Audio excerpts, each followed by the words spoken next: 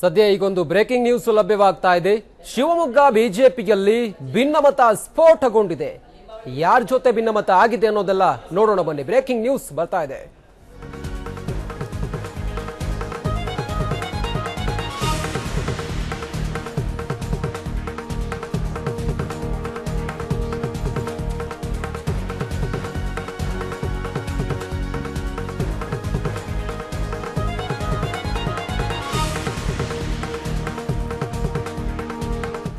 ಶಿವಮೊಗ್ಗದಲ್ಲಿ BJP ticket ಕೈತಪ್ಪುವ ಸಾಧ್ಯತೆ ಹಿನ್ನೆಲೆಯಲ್ಲಿ ಜಿಲ್ಲಾಧ್ಯಕ್ಷ ರುದ್ರೇಗೌಡ ರಾಜೀನಾಮೆ ನೀಡುವ ಕುರಿತು ಊಹಾಪೋಹಗಳು ಈಗ ಕೇಳಿ ಬರ್ತಾ ಇದೆ.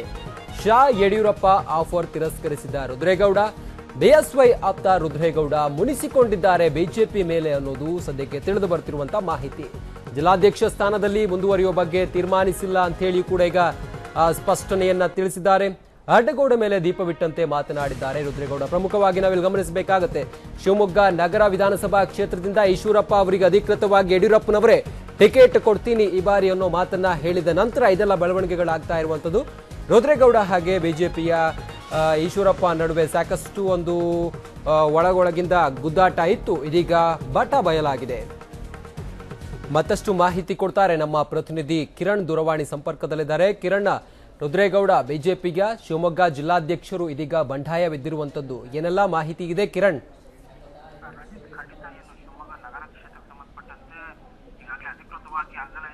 ಅನಧಿಕೃತವಾಗಿ ಬಿಜೆಪಿ ಮೂಲಗಳ ಪ್ರಕಾರ ಈಶ್ವರಪ್ಪ ಅವರಿಗೆ ಟಿಕೆಟ್ ಅಂತ ಹೇಳಾಗ್ತಿರುವಂತದ್ದು ಹೀಗಾಗಿ ಏನು ಟಿಕೆಟ್ ಆಕಾಂಕ್ಷಿಸಿದಂತ ಶಿವಮೊಗ್ಗ ಜಿಲ್ಲಾ ಬಿಜೆಪಿ ಅಧ್ಯಕ್ಷ ರುದ್ರೇಗೌಡರು ಅಸಮಾಧಾನವನ್ನು ಹೊರಹಾಕಿರುವಂತದ್ದು ತಾವು ಪ- ಜಿಲ್ಲಾಧ್ಯಕ್ಷ ಸ್ಥಾನಕ್ಕೆ ರಾಜೀನಾಮೆ ಕೊಡ್ತೀನಿ ಅಂತ ಹೇಳ್ತಿರುವಂತದ್ದು ಯಾಕಂದ್ರೆ ಅವ್ರನ್ನ ರಾಜಕೀಯಕ್ಕೆ ಕರೆತಂದಿದ್ದು ಯಡಿಯೂರಪ್ಪನವರು ಹೀಗಾಗಿ ಅವರಿಗೆ ಯಾವುದೇ ರಾಜಕೀಯ ಸ್ಥಾನಮಾನಗಳು ಇರುವಂತದ್ದು ಈಗ ಅವರಿಗೆ ಅಸಮಾಧಾನಕ್ಕೆ ಕಾರಣ ಆಗಿದೆ. ಹೀಗಾಗಿ